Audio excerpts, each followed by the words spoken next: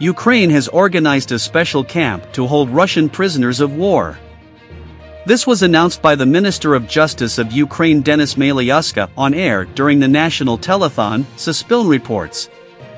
We have set up a special camp for prisoners of war in western Ukraine.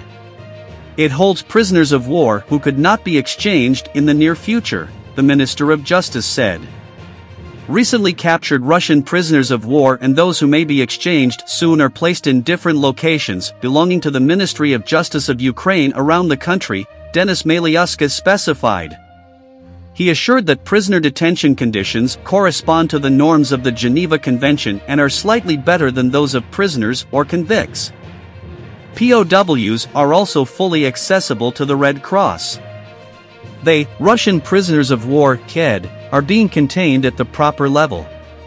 We do not provide any extra goods to them but in accordance with the international treaty standards we provide them with determined necessities.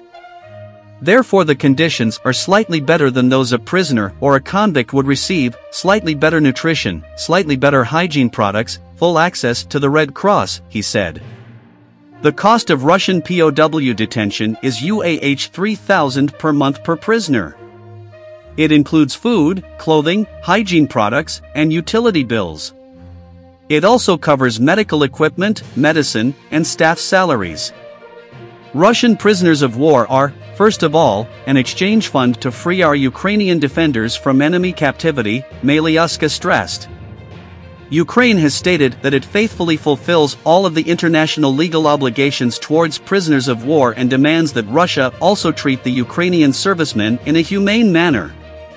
This is conveyed in a statement by the Ministry of Foreign Affairs of Ukraine.